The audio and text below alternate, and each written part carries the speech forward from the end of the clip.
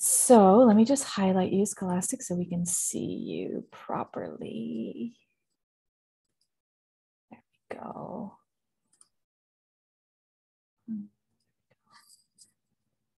Okay. So, hi everyone. Welcome uh, to our Get Inspired series. My name is Jennifer. I am the community leader for ecomConnect, which is for those of you who are popping in for the first time and are new here. It is a community that is um, and a program that is organized by the International Trade Center um, and the United Nations, and we support um, e-commerce entrepreneurs in developing and least developed countries just to learn um, skills around e-commerce, around networking, and just um, yeah, it's just a really nice supportive community where we learn together, we connect, we build our networks, and um, we meet incredible entrepreneurs like Scholastique, who we have with us today. Um, so we're going to dive right in. Scholastique is a PR um, fashion expert, and she has a really inspiring story. We met actually in another community a few weeks ago and I just felt that her story was so inspiring that it would be a great opportunity to have a conversation with her here in the community. And if you're not part of the community yet, um, I'm going to put the link in the chat. You can sign up to join us, it's completely free. Um, and we have so many wonderful events happening every week. And um, the recordings are also always put in the community after. So if ever you weren't able to join something, you can rewatch. So we are recording this one now. So Scholastique, welcome and thank you so much for joining us. Thank you so, so much for having me here. I have to say I'm a bit nervous, but I'm uh, super excited. well, I mean, it's like a big family here. So it's very casual, very relaxed, and uh, we're just going to have a nice, friendly, and inspiring conversation. Um, so, can you tell us first um, so you're in Pennsylvania right now, but tell us where you're from and how you landed in Pennsylvania. Um, yeah, so first of all, thank you all for being here. It's definitely an honor and a privilege, and I don't take anything for granted. I think everything is happening and it's perfect timing. Um, so a lot of people, um, you know, know may not be aware. I'm a refugee from the Democratic Republic of Congo, um, but I was born in Kapsabet, Kenya. Um, so for anyone here, I do speak Swahili. I no longer speak uh, French and a thousand of the other dialects, but that's a story in itself. um, and, you know, I was very privileged to have lived, um, you know, what I looked at at the time a complex and unfortunate life, right? Um, because you know a lot of people see one thing but don't really realize the experiences or where your background from, where you're coming from. So you know, being being able to migrate from different countries as a young child and having the privilege for uh, to come to the United States. And you know, just to kind of backtrack, I was telling my mom two days ago in a car. I said, "Mom, can you tell me a little bit more about the United Nations?" And she's like, oh no, you're going to have to pay me for my story. like, you're my mom. uh, but then she's like, no, I, she said, I just, she's like, I remember like it was just yesterday. She says the United Nations that help us do your, our paperwork to be able to come here, to be able to live the life that I'm fortunate to live today. Um, so I just wanted to, you know, backtrack on that. So coming here, you know, when you're an immigrant or when you're a refugee, you have a vision of what the American dream looks like for you and how you're supposed to, you know, integrate in this new society. And then these expectations of you, you know, not just learning how to assimilate and integrate, but also trying to figure out who you are as a human being. Um, and at the time, um, I've always been interested in arts and fashion and theater and all these things, right? But life at the time did not allow me the privilege to live within my dreams and within what my brain told me was possible. So, like many people, I just kind of went along with life, but always keeping in mind that I had these visions, I had these dreams, and I don't know where they came from. Um, you know, I joke around a lot. I think I was telling you, Jennifer, I'm like, imagine what it's like being a one year old, a two year old, a three year old living, you know, in certain situations. You know, I spent a year and a half living um, in Addis Ababa, uh, in a desert, right? And experiences where, you know, I almost lost my sister, my grandfather, and watching my mom still being very passionate and taking care of people and, you know, on the refugee camp and just being youthful and, you know, just this happy woman. And I don't know if that's where my dream started, but I don't remember those experiences. But what I do remember is that despite of those circumstances, I've always had a bright and positive impact in life. And that gets us from the scenarios that I, as a child, drew up in my mind to escape a lot of these situations, you know, where my mother can talk about it. I've only heard about it, but I don't remember experiencing it. Um, and I think that's gave me the privilege of, you know, being a dreamer and knowing how to, you know, I'm this is the first time I've told my story. So I just yes, uh, you know, let that that let that be known. Of course. But regardless of how I grew up and my background, I just knew that I could do anything. And you know, I'm that rose that people would say grew from concrete because I always looked at my circumstances as, hmm, for some reason, okay, I'm going through this, but this is not it, you know, and that's what allowed me to go to college, to be able to pursue fashion as a career. And even in moments of my life where I did fall back again and I saw myself almost jumping into what we consider what generational poverty and these curses, right? You know, and that, you know, and that's when I had at this, you know, later on in life where I experienced a lot of things. I just knew that as long as I could dream, I could get out of any situation. And that's what inspired me to open up my PR firm. Mm. It wasn't because things were going great in that I was making a lot of money and that you know people were calling me to work with me left and right because none of these things were true. If anything, I have found myself in a path where I have got I was getting to a point of success and then I fell right back down and it's almost as if I was reliving my childhood in a new space.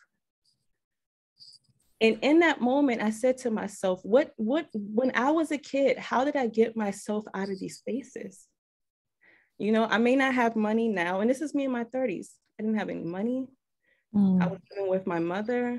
I closed down my first business that I had opened. I was running a salon and I was about to expand it, and it was going great.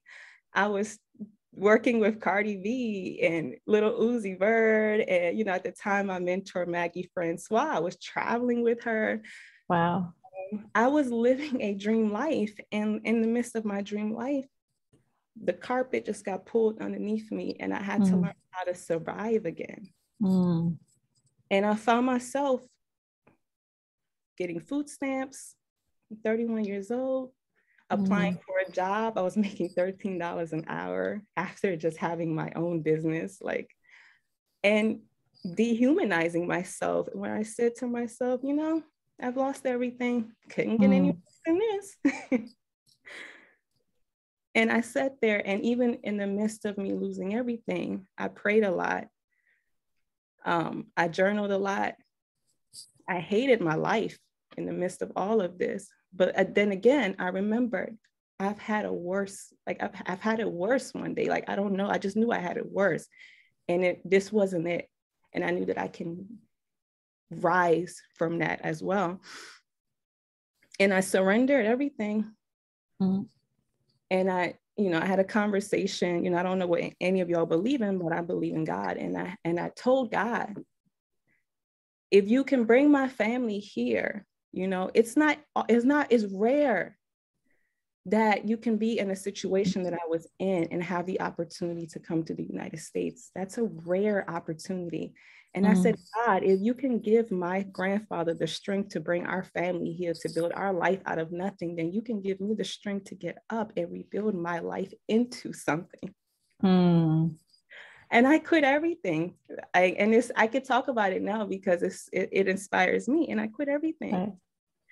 I let go of my twenty dollars an hour job. I had got I went from thirteen to twenty dollars. So I was I was doing big things now. yeah, big jump up. big yeah. jump up, right? I mean, and mm. I just kind of let life happen to me, and I made the decision that I was just going to trust myself, trust my trust my understanding and who I was, and trust that God did not give up on me, and He will never give up on me. But I just mm. had to a decision to get up and to do what I knew was best for my life. And I tell you, within making that decision, I landed my first five figure contract in three months wow. of making decision that I was going to get out of my situation in three months. And then right after that, we launched a course. And in 15 minutes, I sold a class for $700 in 15 minutes. Wow. And I said, Oh God, you working. Because I don't $13. I said, so, okay, I'm paying attention now. I'm paying yeah. attention, you know. So, you know, I say all of that, you know, and I think, you know, that was a lot, but I say all of that to kind of give you guys an idea of where I've came from and where I right. am right now and what this, you know, PR firm means to me. Yeah. There's so many things that you said that I want to highlight that are that are just so powerful. First of all, how wonderful is this moment, this full circle moment of the UN helping you to, to come into the US and now you being interviewed under the umbrella of the UN. I just think that that is absolutely incredible. Um, I didn't even know that actually. That was something I just learning right now. And um, the other thing I want to highlight that you said, and I think this is so important because there's there's always two parts to success, right? There's like the technical, practical, practical things that we um, need to learn to run a business. But then there's the energetic and mindset piece, right? And what you said is like when you realize this is where I am now, but it's not the end. That realization, that that way of seeing where you're at is so powerful because it's empowering you to have access to so much more, you know, and to be ready to access so much more opportunities, success, growth, whatever that is. Um, so I really love that you that you highlighted that, and I think your story is one of um, really big inspiration for how um, how we can create opportunities for ourselves when we have the right mindset in business. Um, so one of the things I wanted to talk about today with the community, because you're you started the PR business and things kind of grew pretty quickly for you. You know, like I don't, I'm not a big uh, believer in like overnight success because business requires work, right? We're always working with if whether it's with like our mindset or like actually doing practical things to grow our business. But you had a pretty quick turnaround. What would you say is the thing you did consistently that allowed you to make these connections, uh, grow the business, um, and just eh, keep moving forward along your journey? Um, I think for me, the aha moment was when I really stopped focusing on the things that I wasn't really good at, right? Mm. I think a part of society, you know, part of growing up in society is that we're programmed to always want to learn this and to be better and to, you know, these things are great, but sometimes we're oh. so caught up in learning things that we're not even paying attention to what we're just naturally good at that we can just, you, you know, figure out what we're naturally good at and enhance those skills instead of trying to force ourselves to be good at something else because we think it'll make our lives better or so forth, right? And that and when i went through my period when i was pregnant you know when i was pregnant and um, going through my transitional phase the one thing i said is okay i don't know what i want to do with my life. Everything i've done has failed. Nothing has worked out for me. So what if i put down every single thing that i sucked at and said that i was never going to do it again right? And then i made a list of everything that i was really really really good at. And then i was going to figure out how can I enhance those skills that I'm good at? Because what I've learned is it's those things that we're naturally good at that is within us, is internal, it's deeper, it's surface level, right? And in order for you to get in touch and to understand these things, you have to do the work. You have to sit there and say, okay, why am I good at this? Why am I not good at this? Maybe it's something that's connected to the, your childhood, you know, or maybe it's something con- and to be honest it's usually always connected to your childhood what i discovered and i think that shift allowed me because remember i had pivoted in a uh, I had went from a place where I don't know where Jen is. I think she's still there. I'm still here. Just there needed to, to, to manage a little something. I'm still here. okay. I figured you were. But I had uh, pivoted from a space where uh, I was trying to get back into my legal field because as a kid, I thought I wanted to be a, uh, well, not as a kid, as an adult, listening to my parents. I was like, I'm going to be an immigration judge. So I started transitioning back into that while I was pregnant. I went and got my paralegal certificate. I was working at a top law firm, like all these crazy things. And then I realized that I was really bad at my job. That's why I kept getting fired. It didn't matter that I had a certification, it didn't matter. I really sucked at what I was doing. I sucked so much that at my last job, my the person that hired me said, "Wow, maybe you should consider changing career fields." She said, "You're not good at this at all." Imagine somebody telling me this was during the clock, and I'm just like, I think I'm going to get fired again soon. and I and I did. but what I what what made me so successful because when I made that pivot I made intentional day, in and day after to make write down the skills, write why I was good at. I even called people, "Hey girl, what do you think about this? Do you think I people tell me no, you're horrible at that." And my friends would be like, "But you're great at this." And that is when I realized that I had to open up a PR firm. I'm an amazing publicist. and and I think that that was that sudden pivot. And and just to let you guys know, just to backtrack, Jennifer, sorry.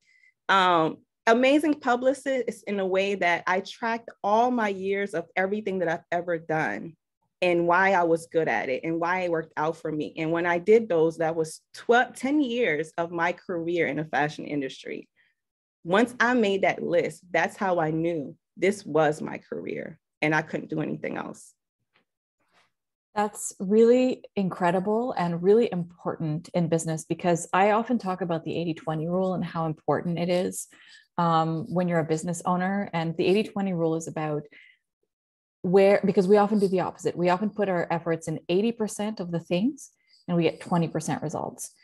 Instead, we should be putting our efforts into 20% of the most important and powerful things to get 80% results. And that 20% is generally related to um, what you're really good at, what I what we call your zone of genius, and what creates the biggest impact or the biggest return on investment ROI, right? Mm-hmm. So I think it's really important. Um, and I actually just did this exercise this morning because um, I'm preparing to hire on my team.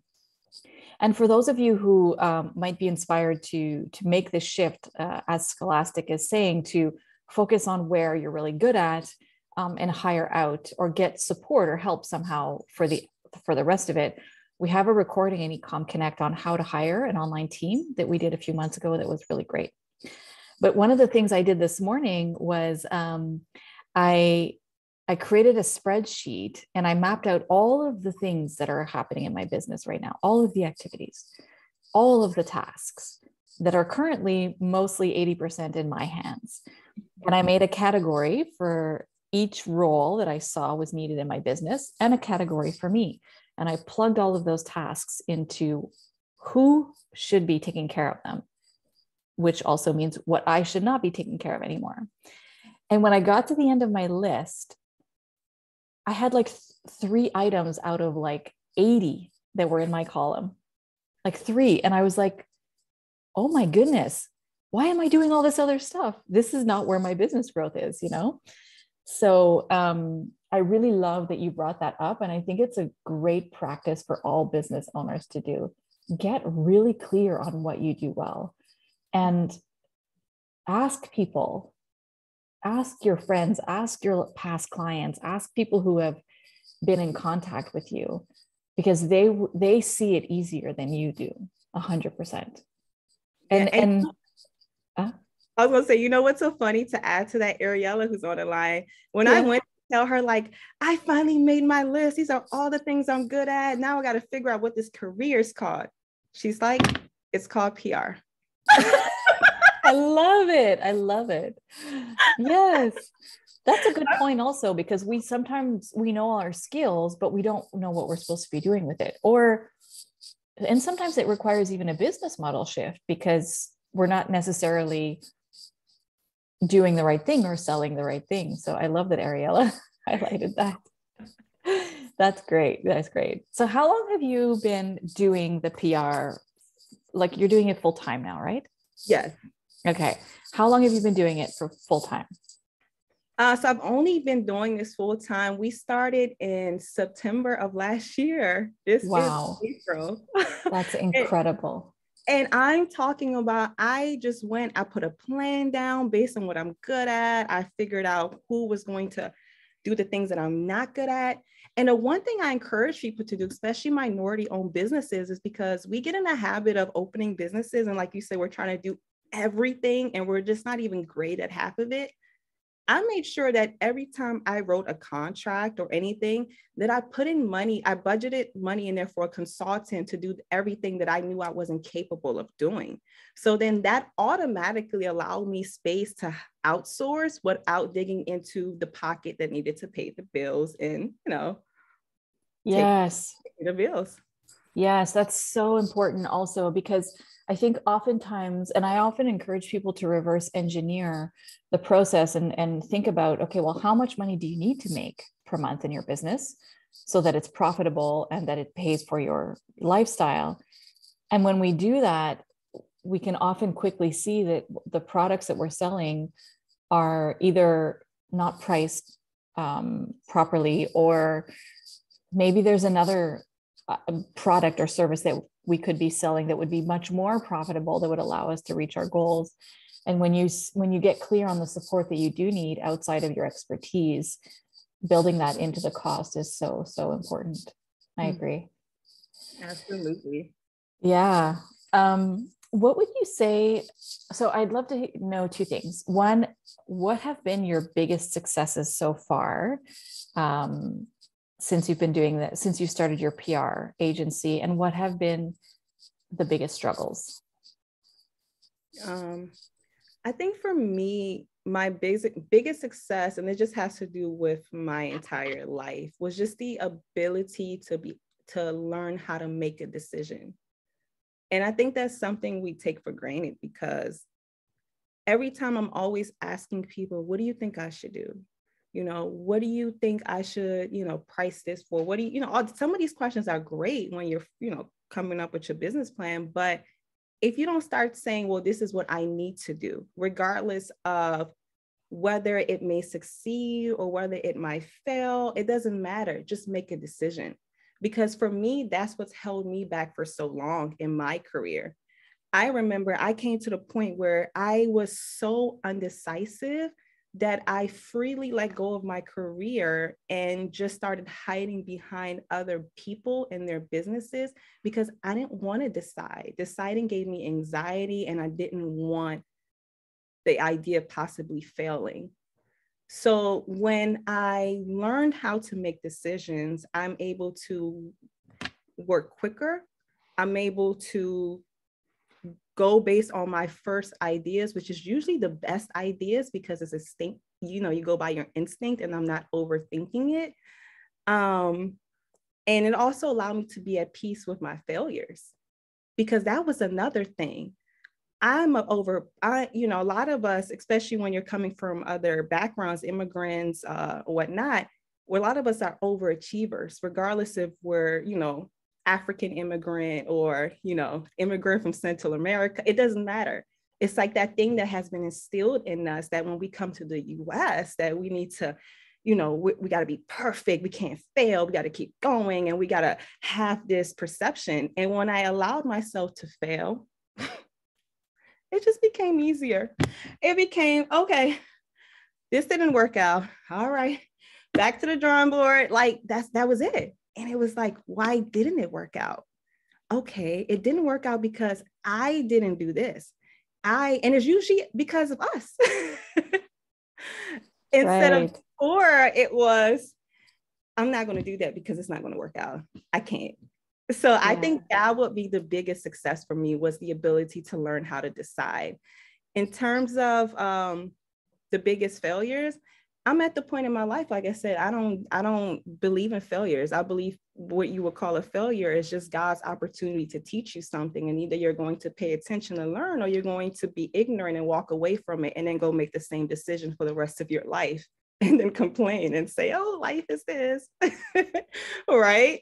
And yeah. I think having the privilege to be from so many different backgrounds uh, has taught me that you know uh, whether you're i'm a refugee so i've had it the worst of the worst and i grew up in the ghetto in some of the most impoverished areas where i've had it the worst as well and in each situation i rose right? And that means in each situation you can rise too but you have to decide and you have to be willing to fail. There's no in between yeah. I love though how your biggest um, win was your biggest challenge before, because essentially what you're saying is your biggest challenge was the decision making, and then that became your biggest um, success or win or a celebration. And I agree. I mean, I I, I believe that failure is probably the best opportunities for learning. It's it's it's just a little pause to help us see some information that's going to help us continue to step forward. And a lot of people stay stuck in fear of making a mistake or failure, or even just things getting a little bit messy. And one of the things in business, I think one of the skills we need to have is, is resilience and the capacity to take certain risks. And uh, a business coach that um, I've been following for a, a really long time often says, uh, clarity comes from engagement. So um, we need to we need to take action to get clarity. We need to do something to see well did this work? Is this the right path? Is there another path? And oftentimes um, every single step forward whether it was the perfect one or not brings us closer to the answer that we were looking for. So mm-hmm. i love that. That's really yeah. great and can I add that too? Even um, not only the answers that we're looking for, mm-hmm. I feel like it also allows you to be honest with yourself. You know, as business yeah. owners, you know, we want to, especially with social media, everyone wants to pretend like their business is doing this. Let's be honest, business is hard. It is. It is. It is. it is. And you have to be willing to be honest with yourself, your team members, your employees, your employers, your mm. support mm. systems it humanizes you and it decreases the level of stress when dealing with these things.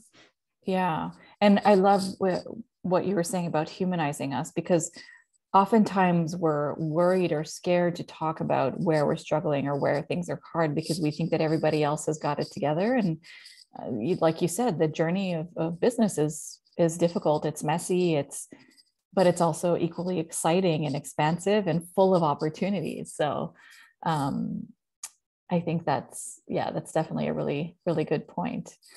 And I know that you have a lot of passion around giving back and the impact that you're making through your work. I know that when we were speaking last time, you were just, yeah, you were just very passionate about um, giving back in your own way. Can you tell us a little bit about your vision for the impact that you want to make or um, yeah, just anything around that that, that feels relevant?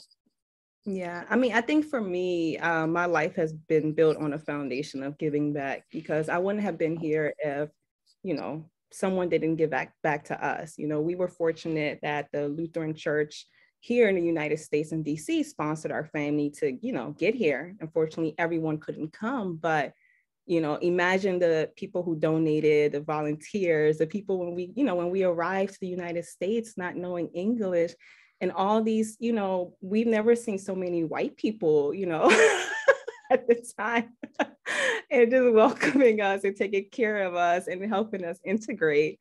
Um, you know, you don't forget about those. And even, um, you know, as a you know, I'm an more AmeriCorps member. I remember even when I didn't have anything, for some reason, I felt like I had enough, and I, I wanted to dedicate my time to help other, you know, other people.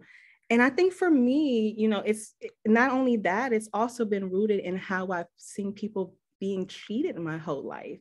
You know, sometimes I always tell people it's, it's hard being a Black person because you're already at the bottom of the ladder when it comes to societal standards, right? Especially when you're a woman of color and you look like this, right? Your hair is not what society calls acceptable.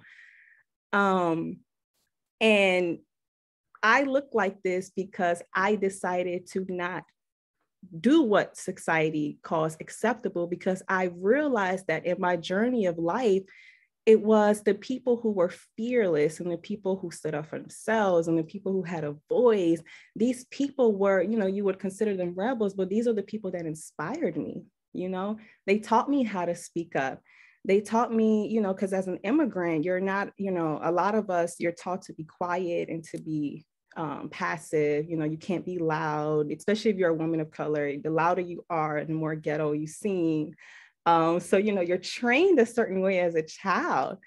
Um, but even when I was observing, you know, I think we were talking um, last time, Jennifer, I was telling you about.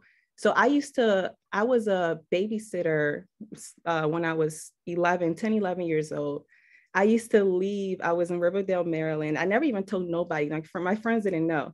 I used to leave Riverdale, Maryland, commute about two hours to go to Potomac, Maryland to watch this these families' kids. They were wealthy family members. Um, and I remember the experience being there because I used to see how their nannies were, you know, the nannies were treated. A lot of the nannies were undocumented. They were from Central America. They didn't speak English. They weren't treated right. Um, I, you know, I witnessed a lot of things in there, and I just knew that I never wanted to treat anybody like that, regardless of their background what kind of language they spoke and how they looked because as a kid it made me feel bad. So imagine how they feel experiencing these things.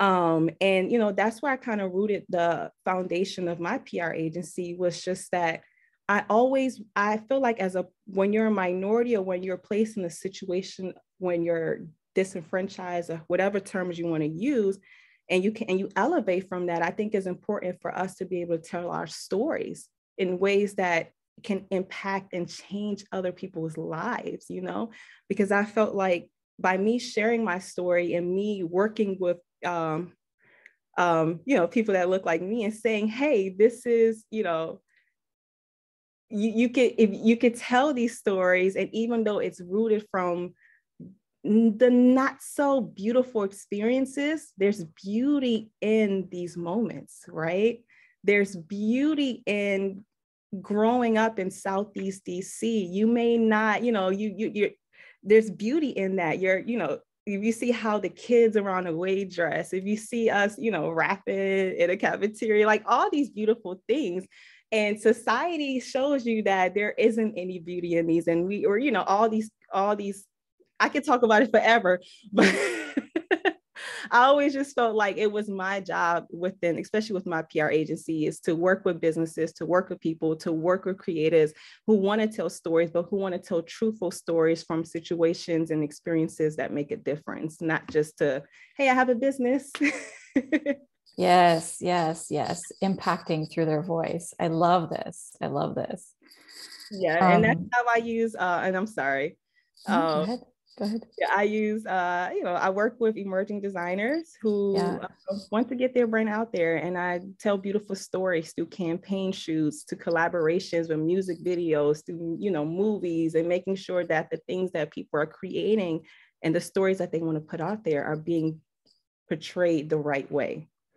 Yeah, I think you really have a gift for um, seeing the opportunity in every single moment and every single experience and every single interaction. And um, it's just really inspiring how you just stumbled onto this path you know and to this business that ended up being you know the vehicle that really um, aligned you with i think your your life's greatest work. And um, i'm curious to hear now where do you see yourself going next? What are the next steps for your PR agency? Um, I'm going to produce some of the most beautiful fashion shows and campaigns. Nice.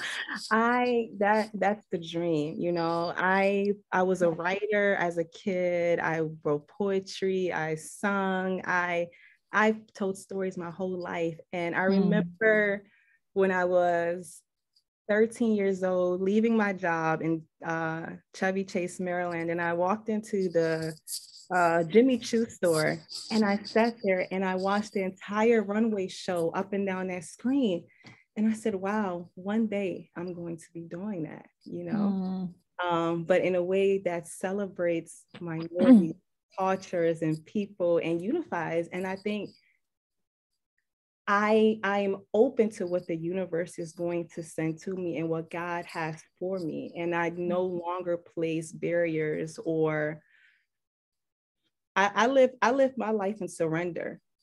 Yeah. I can tell you guys the things that I hope to do and want to do in my dreams and I, you know, all these amazing things. But if God does not direct me in that way, I'm not going.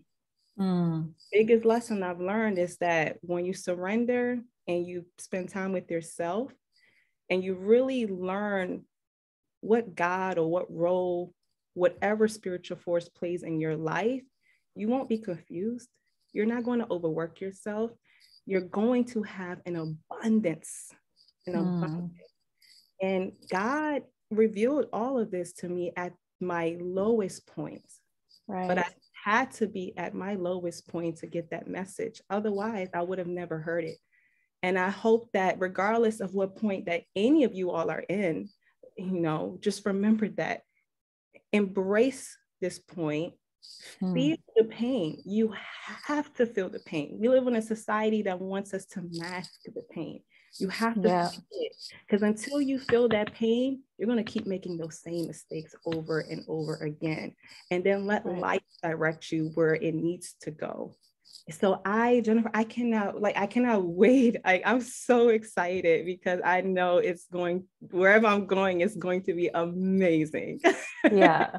I have no doubt. Just seeing how your path has so organically unfolded so far, I think that you are absolutely on your way to big, beautiful expansion. And I love that you have this vision of bringing, you know, everyone along the journey with you. So that's really great. Um, I'd love to open up the room to some questions um, to see if anybody wants to pick your brain a little bit more on some things that you said, or maybe ask some questions that I haven't asked yet today.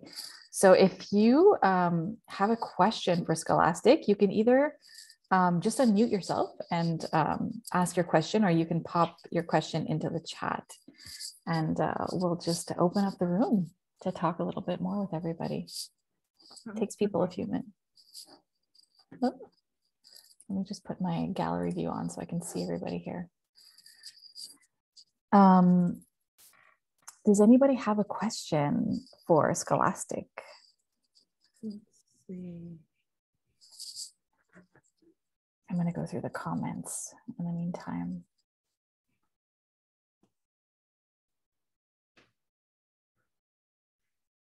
Oh, while we're waiting, um, funny yeah. story.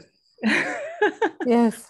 Um, so the reason I always tell people this, I think it's hilarious. So the reason why I'm such a good publicist, and I say this because I'm such a cute girl, but so growing up around the way, I used to fight a lot. Like I'm a friend, and I was so tiny. I'm like this small Kenyan girl. and I'm like, don't mess with my friends. And I just wanted to yeah. beat anybody up. And then I was like, one day, you know, when life happened and all that crazy stuff, realizing I'm like, I really know how to t- take up for people. Mm, yes. and protect and defend and to make people feel good. So yeah. that's a way where you can use some of your uh, n- not so greatest things as a kid to kind of unveil what some of the great skills that sh- it can help you in your business. Yeah, I, you know, I think that's such a good point. Um, because at the end of the day sometimes like for me what i see in that is you there's been a common thread in your intention through your whole journey which was to uplift and protect others because even when you spoke about wanting thinking about becoming a lawyer you know and even now the the larger impact that you want to create through your business and helping minorities and people who don't necessarily have a voice it's always coming back to the same common thread which is to protect and uplift others and so i love i love that story and yes yeah, sometimes when we start stepping into our life purpose or our mission or the work we're here to do as business owners it, it starts some, sometimes a little bit messy right we're a little bit awkward in how we do it and now you're you're doing it through such a powerful channel. So I love that. I love that. Oh, Shara. Shara says, What a great interview, such an inspiration. I'm interested in how do you keep yourself grounded and focused when you find yourself getting distracted or off track? This is usually something people struggle with in entrepreneurship. A hundred percent, Shara. what are your tricks for this, um, Scholastique? Well, two things. Um, and hi, Shara. Um, well, I think for me, the first thing I want to encourage everyone is to um, learn how to be alone. Yeah. Um, that was the hardest thing for me. Um, and it still is. It's, it takes intentional practice, mm-hmm. but you have to spend time alone. And I'm not just talking, people say 15 minutes here, 15 minutes there. That's great. But I, I literally have, even as a mom, I have days where I do 24 hour, I don't talk to nobody. I won't even talk to my son. I'll go to a hotel room and I'll just sit there and I don't have plans other than to be alone and to spend time with me. Mm-hmm. Because what that allows me to do is it gives me the space to check in with myself and to see how do I feel um, right. about these things and to just do like an emotional, hey, hey there, hey mom, you're are you okay? Yeah. Um, so that's the biggest thing solitude, embrace it and focus. Um, especially as creatives. I when you are creative, we tend to have so many ideas, especially visionaries. I'm a visionary, so my ideas never stop. Ariella right. will tell you, like, she's like, okay, can you stop? I'm like, I can't. but um, what I found, Shara, in focusing is that I've learned that there's a time where I can't be a businesswoman and I just have to focus on fixing things in my life. And I have to be okay with that, which is really, really difficult. Mm. Um, and then there are times where I have the space to, you know, be that businesswoman that I, you know, I'm I in my life, but I have to do one thing at a time as many as ideas as I have, you know, right now my focus is on building Style Sense, which is an educational course for creatives uh, that we teach online, um, and the PR firm. I can't do anything else. Yeah. So once I focus and meet those objectives, and I give my space, I give my time to then take a break, focus. I mean, take a break, have mental space, and then into the next project. So right. that's helped me a lot. Yeah, I think it's it's very easy as entrepreneurs because we wear a lot of hats to just get pulled in by all the obligations coming at us. Um, and getting that alone focus time is definitely definitely really important. Um, I see. I'm I'm going to just simultaneously um, launch a little poll. It's just a few questions if you guys can answer while we're doing the Q and A time. Uh, it just helps us to know more about how you liked the sessions and what we can do more for you. So I'm going to just hit launch because I always forget at the end. So while I'm thinking about it, um, Elisar, did you want to ask a question? I see you on, turn on your video. No, okay. it's nice to see people on video. Um, I just much better, but I wasn't uh, putting on video for the connection. I, I know. Stop your connection. Thank you. Yeah, you're welcome. You're welcome. What she was saying in the comments. Congratulations how inspiring, very inspiring story. Yeah. Oh, thank you all. And there, you know, oh, go ahead. Sorry, Jennifer. I was just gonna say, ask if there was any other questions. But go ahead. They we can pop unmute or pop in the chat. Go ahead we're. Okay. While, while we're talking about e-commerce, I just want to let everyone know that, of course, my business service based. So, um, especially when you're in different countries, if service-based businesses um, are a great way, especially if you can't produce, if you don't have the funds or means to, um, you know, produce certain things that you may have uh, an idea for.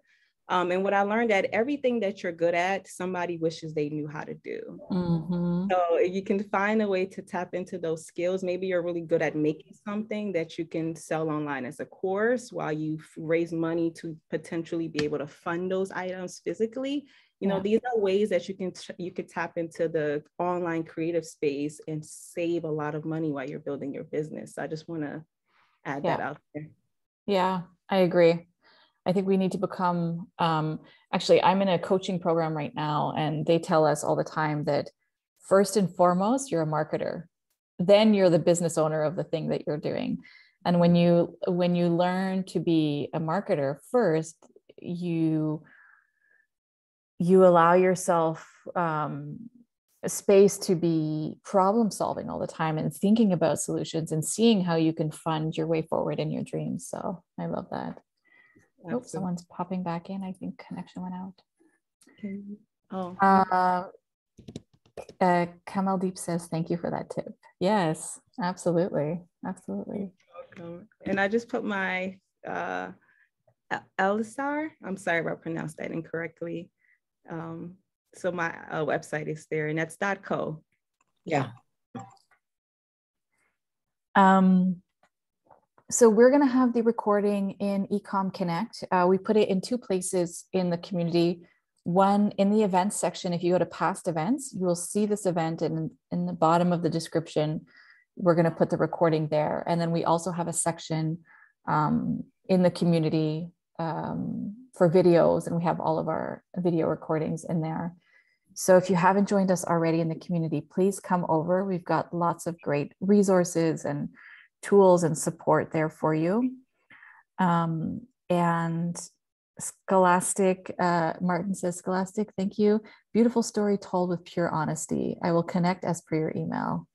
I agree. I agree. We need more honest, authentic, real stories like this because this is what allows us to feel human and to de dramatize maybe what we're currently going through and to know that there's always a next step forward towards our success. So, thank you so much for sharing your story.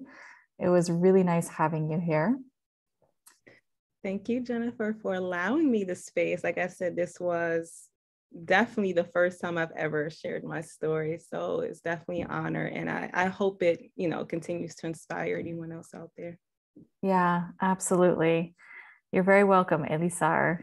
So, wishing everybody a really wonderful end of day, no matter where you are in the world. And hopefully, we'll see you on the other side in the community. Oh, let me put my IG. Oh, sure. Yes. Add me. Happy effort is not. It's my personal, so have good have fun with me on IG. yes. Sounds good. Thank you. All so right, everyone. You're so welcome. And thank you again, Scholastique, for, for spending time with us this morning. Thanks. Bye. Bye, everyone. Bye. Bye.